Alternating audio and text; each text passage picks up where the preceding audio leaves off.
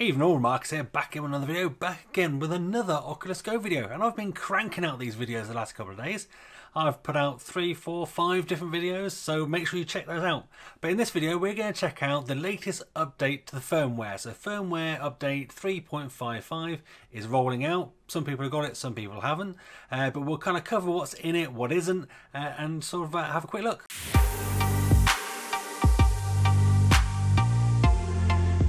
Alright, first up before we say anything, let's have a just quick check in the settings, see all, and you can check see whether you've got the latest update. So if we go in here, let it load, on the left hand side click about, and then at the top you should have version 3.55.12.133986.431 or 3.55 for short because they've all been 3 point something. Uh, if you have that, you have the latest update. What I would say as a caveat to this is whenever they bring out a firmware update, that doesn't mean you get the latest features. They means you're capable of getting them, but they seem to slowly roll them out anyway, so you don't get all the features. So say for example, this is the new home screen. I had this a few weeks back for a few days, and then it disappeared, went back to the old one again, and now I've got it back again. So it's a slightly nicer home screen. I've got kind of a boring looking background. I like to keep it nice and simple, nice and clean. Uh, but as you can see, it's a bit bit better. You've got your kind of jump back in section at the top, so you can jump back into the things you've been testing and you've been using. Uh, recommend if you stuff is down here. Uh, and then anything that's been new in your gallery um, or in your library even uh, gets is down here so you can have a quick look and have a look. So you do have a little button top right hand corner to make it bigger but you can choose how big and small you want it. I think because I'm recording it's going a bit weird uh, which is nice to have. Uh, you've also got quick access to voice search which is handy and you've got a nice little back button so if you go into any of these sort of things you can jump back which is good. The only other thing I've really seen is if we go into uh, gallery sorry the only other kind of visual update that kind of makes any serious difference is if we go into gallery, go into internal storage. If your gallery button isn't down here, your gallery is now an app in your Oculus Go store. So in your Oculus Go library, sorry, you search for gallery app, it'll be in there. But we've had to change the gallery layout. So we've got a few different options. So we've got a little thumbnail option for viewing things. We've got a list option and we've got kind of, I guess this is the kind of the original view. Um, and nice little sort of options as well to delete stuff nice and easy uh, on every single one just to kind of speed up the process. So that's nice and then uh, obviously I think before we had lists of albums recent and A to Z but uh, slight different layouts to uh, media library so if you've got a lot of stuff you probably go to this one um, depending on what it is you go to this one. So that's quite good. A little bit more information uh, available in that view. So that's kind of like the detail view. So quite good, I like that. Uh, and I guess the only other thing I guess that's the kind of main sort of visual differences. If we find, uh, what am I looking for? Not venues. Uh, where are you? Uh, Oculus TV. Here we go. Oculus TV has had a slight update, and this is one you probably won't even notice for most people. Uh, but it now runs. Well, it looks different anyway. It's, it's changed a, a week or so ago, and it's a slightly different sort of background that you've got. Uh, what I would probably say looks like a slightly bigger screen, but this wasn't in this update. You've probably got this already. Um, but now Oculus TV runs at a higher clock rate on your Oculus Go. So the Oculus Go itself has different levels of power that it gives to certain apps, and they've cranked this up. So Oculus TV in general should be smoother.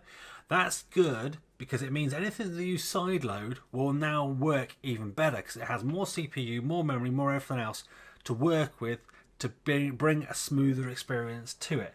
So stay tuned. I've got a couple of apps that I'm sort of playing around with in Oculus TV, which I think you guys will be interested in. Um, and that extra clock rates, those extra little bit of extra power, will make a big, big difference to those apps that I'm going to be showing you. So uh, exciting times. But other than that, there's not much else that's been introduced.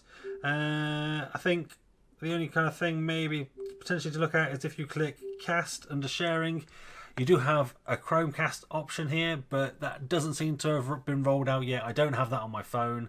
Um, nothing else happens, but that'd be quite handy. So if you've got a Chromecast plugged into your TV, you can stream to your phone and then click Chromecast, and it'll cast to the Chromecast to your TV or your PC or whatever, you know, your Oculus browser or whatever, um, your Chrome browser even. Uh, it would make just life a little bit easier because I know people, it's, it's fine sharing it on a phone, um, but sharing it on a bigger screen is maybe a bit better for sort of social stuff if you're playing with a big party of people. Uh, so that's nice. But other than that, sort of no major updates. There's no USB storage. Unfortunately, that's not in there yet. Um, what other big updates we're waiting for? Nothing else is kind of major. I think the USB storage is kind of the main one that people have been hanging out for. I'm not sure what the issue is, um, but as soon as we know about it, as soon as it works, I do keep testing it. I'll make a video straight away and make sure you guys know. Uh, but for now, unfortunately, USB storage doesn't work. And just to note as well, people do keep asking me, it will just be for media. You won't be able to put apps on it.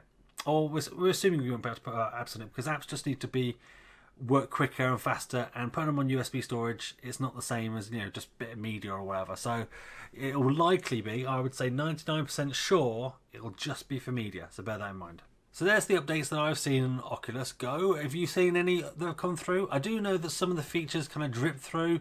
You don't always get them. Just because you've got version 3.55 doesn't mean that you've got all the features. They do seem to sort of roll them out slowly. Um, so don't panic if you don't have all the different things that have changed. If you don't have the update as well, the best thing to do, there's no way of sort of forcing the update, but the best way of trying to get the update is to charge your Oculus Go, put it on charge, leave it, make sure it's still on, obviously on standby, connect it to your mobile phone app, and then that seems to kind of kick off the kind of process to get it updated. Not many people ever sort of see it um, updating, but it does in the background.